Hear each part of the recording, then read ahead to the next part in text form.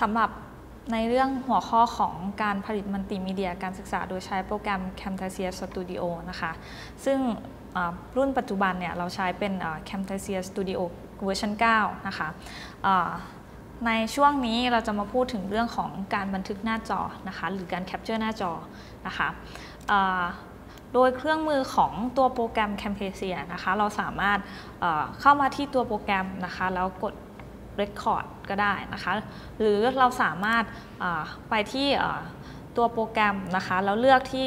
Camtasia Recorder นะคะก็จะเป็นโปรแกรมย่อยอีกโปรแกรมหนึ่งนะคะสำหรับการบันทึกหน้าจอได้เลยนะคะ โดยที่ยังไม่ต้องเข้าโปรแกรมเต็มนะคะ เมื่อเราบันทึกไฟล์เรียบร้อยแล้วเนี่ยเดี๋ยวก็จะดึงเข้าโปรแกรมสู่การตัดต่อได้เลยนะคะ ก่อนอื่นเนี่ยเรามาดูวิธีการตั้งค่าต่างๆ ในการใช้การ Record หรือการบันทึกหน้าจอนะคะ เครื่องมือหรือเมนูง่าย ๆ เลยก็คือกดที่เมนู Record นะคะแล้วก็จะมีวงกลมสีแดง ๆ อยู่ตรงด้านล่างของ menu bar นะคะหรือเราสามารถกด shortcut ที่มีก็คือ Ctrl R นะคะ เมื่อคลิกเข้าไปแล้วเนี่ย ตัวโปรแกรมนะคะก็จะทำการย่อส่วนของตัวโปรแกรม Camtasia นะคะเหลือแต่ตัวโปรแกรม Recorder นะคะซึ่งในการสกรีนหน้าจอเนี่ยของโปรแกรมเนี่ยเราสามารถสกรีนได้ capture ได้ทั้งแบบเต็มจอนะคะหรือว่าเป็น custom ในกรณีที่เป็นเต็มจอก็คือเต็มส่วนของบริเวณเดสก์ท็อปของของตัว เครื่องคอมพิวเตอร์ของเรานะคะ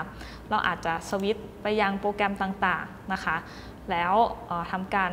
บันทึกภาพหรือจับหน้าจอนะคะ โดยที่เราสามารถตั้งค่าต่างๆ ได้ดังนี้นะคะ เมนูแรกในการตั้งค่าก็คือเอเราจะเลือก Record จาก อุปกรณ์ใดบ้างนะคะ ก็จะมี Record Audio นะคะก็คือบันทึกเสียงเราเข้าไปด้วย ในกรณีที่เครื่องคอมพิวเตอร์เราเป็นแล็ปท็อปหรือว่ามีอุปกรณ์เสริมก็อย่างเช่นไมโครโฟนนะคะ Record Webcam ก็ในกรณีที่เครื่องเรามีเครื่องคอมพิวเตอร์เรามีกล้องต่ออยู่แล้วนะคะ ก็คือบันทึกภาพที่ผ่านทางกล้องได้เลยนะคะ การ select area record ก็คือการเลือกบริเวณที่เราต้องการ capture หรือการบันทึกหน้าจอนะคะ หรือการ lock to application ก็คือล็อกขนาดนะคะให้มันเข้ากับตัวแอปพลิเคชันนะคะหรือล็อกกับแอปพลิเคชันใดแอปพลิเคชันหนึ่งนะคะ เมื่อต้องการ record หรือเริ่มบันทึกนะคะให้เรากด F9 นะคะ เมื่อต้องการสิ้นสุดการบันทึกนะคะกด F10 เมื่อเสร็จเรียบร้อยแล้วเนี่ยตัวไฟล์จะถูกย้ายไปยังไทม์ไลน์ของ ตัวโปรแกรม Camtasia นะคะเมนูถัดมานะคะก็คือการเพิ่ม annotation ต่างๆนะคะซึ่งการเพิ่ม annotation หรืออย่างเช่น system stamp นะคะหรือเพิ่ม caption นะคะซึ่งในกรณีเราสามารถเพิ่มได้ในตอนของ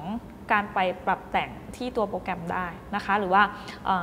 เพิ่มในส่วนของเสียงเมาส์คลิกนะคะ แล้วก็มีออปชันอื่น ๆ เพิ่มนะคะ ก็คือเป็นการตั้งค่าเพิ่มเติมนะคะโอเค เมนูถัดมานะคะก็คือเป็นเมนู tools นะคะก็คือเอเป็นเรื่องของ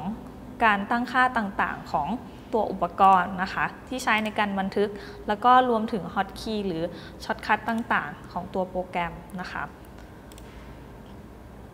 สุดท้ายเรามาดูที่ตัวเมนูนะคะของตัว ตัวโปรแกรมที่ใช้ในการบันทึกนะคะ อันดับแรกก็คือเป็นค่า default ของตัวการ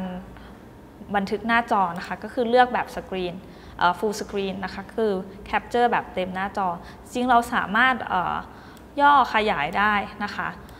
เมื่อเราย่อขยายเนี่ยตัวการตั้งค่าก็จะถูกเป็นเลือกแบบเป็น custom นะคะ ก็คือเราสามารถเลือกบริเวณหรือตำแหน่งที่เราต้องการให้ capture หน้าจอ ก็ได้นะคะ อย่างเช่นเราต้องการพื้นที่ส่วนใดส่วนหนึ่งนะคะ ตัว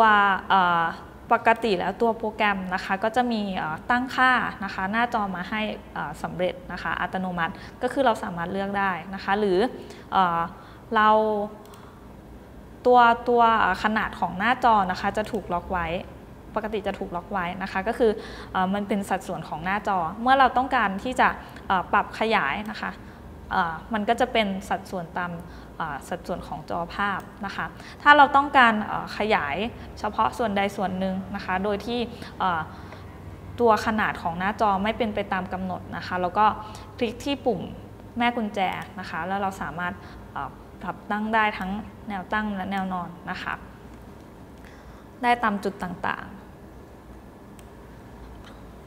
โอเคค่ะ เมื่อเราต้องการบันทึกนะคะ เราก็กดกดที่ปุ่ม REC หรือว่าปุ่มช็อตคัท F9 นะคะ เพื่อทำการบันทึกนะคะตัวโปรแกรมจะแจ้งเวลาถอยหลังในการเริ่มบันทึกนะคะ ซึ่งขณะนี้เราเริ่มบันทึกหน้าจอนะคะ จะสังเกตว่าตัวจะมีกรอบสีเขียว เป็นเส้นสีเขียวนะคะ แสดงถึงส่วนบริเวณที่เรากำลังแคปหน้าจออยู่นะคะ เมื่อเราสิ้นสุดการบันทึกนะคะ เราก็ทำการหยุดด้วยการกด F10 นะคะอพอกด F10 นะคะ ตัวไฟล์ที่เราได้มานะคะ ตามสัดส่วนหรือตามที่เรา crop หน้าจอไว้แล้วเนี่ย ก็จะปรากฏอยู่บนตัวไทม์ไลน์ของงานนะคะเป็นทั้งแบบไอคอนนะคะ เป็นไอคอนของภาพ มี preview จอให้ดูนะคะ แล้วก็ปรากฏบนไทม์ไลน์ ไทม์ไลน์เนี่ยก็จะมีทั้งภาพและเสียงนะคะ ซึ่งเราสามารถ ตัดหรือแบ่งแยกเป็นชิ้นๆ รวมถึงการเพิ่มเอฟเฟกต่างๆนะคะ ซึ่งในส่วนนี้อาจารย์ก็จะพูดในถึงในส่วนตอนต่อไปนะคะนอกจากเราจะสามารถ capture นะคะจากตัวโปรแกรมหรือ capture จากโปรแกรมต่างๆ แล้วเนี่ย Camtasia ก็ยังทำงานสามารถทำงานร่วมกับโปรแกรม Microsoft PowerPoint นะคะ โดยที่ตัวโปรแกรมเนี่ยเป็น add-in ฝังเข้าไปอยู่ในโปรแกรมนะคะ ซึ่งเมื่อเรากด Record นะคะ ตัวไฟล์บันทึกของตัว PowerPoint ที่เรากำลัง สมมุติว่าเรากำลังอธิบายหรือบรรยาย PowerPoint ประกอบอยู่เนี่ยเราก็สามารถ capture หน้าจอ ซึ่งเป็นไฟล์ PowerPoint ขนาดเต็มนะคะ ลงเข้าไปในตัวเป็นคลิปวิดีโอก็ได้นะคะ หรือว่าเป็นในส่วนของเป็นคลิปแล้วเอาไปตัดต่อหรือตกแต่ง ต่อที่โปรแกรมแคมปาเซียก็ได้นะคะ ในเบื้องต้นเนี่ยก็อยากจะให้ผู้เรียนนะคะทดลองใช้ตัวโปรแกรมแคมเทเซียนะคะในการบันทึกจับภาพหน้าจอหรือบันทึกหน้าจอนะคะ เพื่อเป็นการฝึกหัดนะคะทบทวนแล้วก็นำมาประยุกต์ใช้งานในการพัฒนามัลติมีเดียต่อไปค่ะ